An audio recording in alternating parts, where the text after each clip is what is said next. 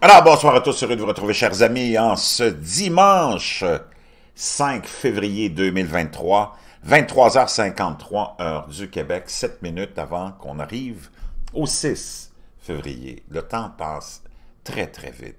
Ça y est, merci à ceux qui sont abonnés, ceux qui ne le sont pas. Faites-le maintenant, vous savez, on vit des moments pénibles, des moments, des moments très difficiles et malheureusement, des moments qui vont être très, très longs. Attendez-vous à toutes sortes d'événements. L'année 2023 va être une année de catastrophe, cataclysme, et ça y est, c'est commencé. Puissant tremblement de terre, on parle de 7.5 ou 7.6 en Turquie et en Syrie, et beaucoup, beaucoup, beaucoup de, beaucoup de décès déjà. 7.8, une magnitude de 7.8, un puissant tremblement de terre frappe le sud-est de la Turquie, ça vient à peine de se, produire, et la Syrie, tôt lundi, renversant des... Renversant des bâtiments et envoyant des, des habitants paniqués sortir par une froide nuit d'hiver. Au moins 100 personnes ont été tuées déjà, et le bilan ne cesse d'augmenter. Les secouristes et les habitants ont frénétiquement recherché des survivants sous les décombres de bâtiments écrasés dans plusieurs villes des deux côtés de la frontière.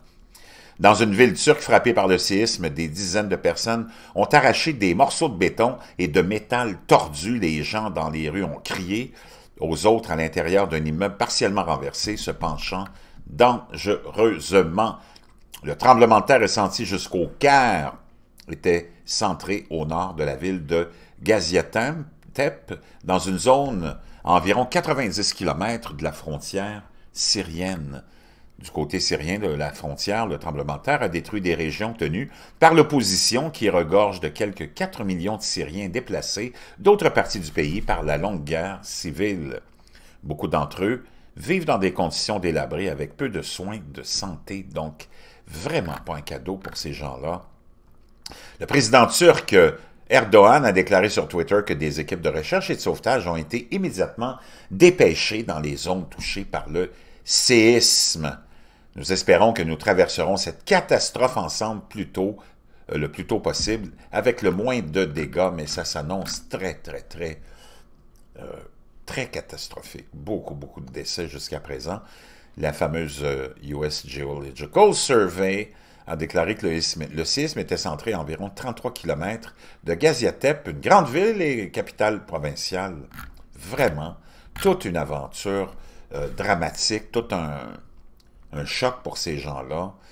Euh, on nous rappelle que 18 000 personnes avaient été tuées dans un puissant tremblement de terre qui avait frappé le, nord-ouest de la Turquie en 1999. On va voir jusqu'où vont aller euh, ces décès, mais jusqu'à présent, beaucoup, beaucoup, beaucoup de monde euh, décédé, mort dans cette tragédie, dans ce cataclysme.